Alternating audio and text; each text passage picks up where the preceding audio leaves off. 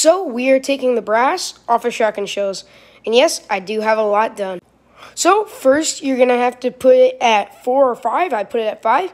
Stabilize it with cans or whatever you want. Um, you need your shotgun shells, um, a knife or a pliers, and then you put your shotgun shells on. And then you wait one to two minutes. And then after they're done, you take them off and like that, and you peel them off. You peel them off, and this is what they're gonna look like. And that.